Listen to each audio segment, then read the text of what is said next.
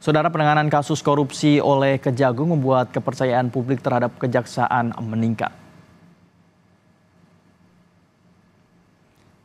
Indikator politik Indonesia mencatat kepuasan publik terhadap Kejaksaan Agung tinggi berdasarkan survei by phone pada 4 hingga 5 April 2024. Kejaksaan berada di angka 74,7 persen sebagai lembaga hukum terpercaya di atas Mahkamah Konstitusi, Pengadilan, Polri, serta KPK. Menurut Burhanuddin Murtadi, kondisi, ter kondisi tersebut terjadi usai Kejagung berhasil mengungkap sejumlah kasus korupsi.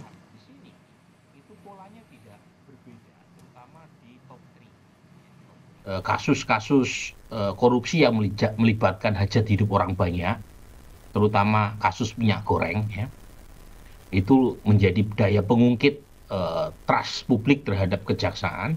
Yang kedua memang kasus-kasus high profile tadi, high profile corruption, ya, memang tidak selalu berkaitan dengan hajat hidup orang banyak, tetapi mampu menaikkan trust publik terutama kelas menengah terhadap kejaksaan